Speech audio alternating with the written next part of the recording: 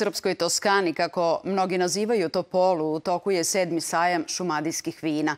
Tradicionalnu manifestaciju upotpunila je reprezentativna izložba Umetnost i vino, koja je na jednom mestu okupila naše priznate likovne stvaraoce. O njemu su pisane knjige, ispevane pesme, vodile su se filozofske rasprave, tražila istina i uteha. Iskonska veza umetnosti i vina iznedrile kroz istoriju van vremenska dela. Grožđe i božanski nektar nadahnuli su i 30 vrstnih stvaralaca da toj neiscrpnoj temi daju sobstveni pečat. Tehnika, oblasti, rukopisa, a sve ih jedna, jedna tema ovaj, jedna tema ih e, zaokuplja i izbližava. I stilski su potpuno različiti, dakle od nekih abstraktnih slika do klasične figuracije, do jako neobičnih skulptura.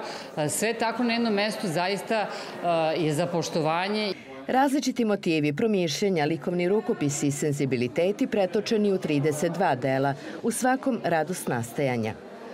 Dakle, strast u slikarstvu, strast, strast u životu, strast u vinu.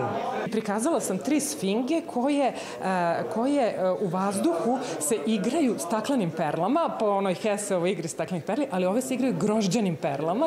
Ista ljubav nadahnjuje i vinare koji u napita grčkog boga Dionisa ulažu rad, tradiciju i strast i sve ih je više u Oplenačkom vinogorju, mestu gde je nastalo srpsko vinogradarstvo i vinarstvo. Samo okolini Topole je niklo u poslednjih 20 godina 200 hektara vinskih sorti grožđa i ta tendencija se dalje nastavlja.